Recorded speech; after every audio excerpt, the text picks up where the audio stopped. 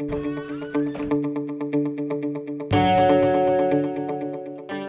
je pense qu'il ne faut pas généraliser. Il y a, vous savez, les entraîneurs, les entraîneurs font en fonction des effectifs qu'ils ont. Euh, est-ce qu'on peut blâmer euh, l'équipe congolaise hier de venir et de rester pendant 90 minutes en défense? Non, on, on, sait très bien que dans ce type de match, c'est à nous d'ouvrir le score. Si on avait ouvert le score, je pense qu'on aurait assisté à une toute autre rencontre. On aurait joué avec plus de confiance et, et je, suis persuadé qu'on aurait même marqué euh, beaucoup plus de buts par la suite. On n'a pas réussi à le faire. C'est à nous de nous adapter encore une fois. C'est, euh, vous savez, entre Guardiola qui prône un football totalement offensif et euh, Mourinho qui prône un football plutôt très défensif.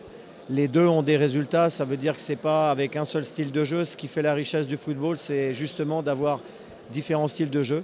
Le nôtre, c'est d'être créatif, c'est de créer beaucoup, beaucoup de jeux, de faire, d'avoir un football résolument offensif.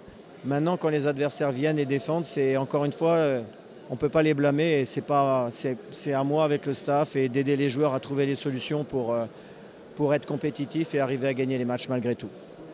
قبل ما تخرجوا ما تنسوش تابوناو في لاشين يوتيوب وبارطاجيو الفيديو وديروا جيم وتابعوا الدار على مواقع التواصل الاجتماعي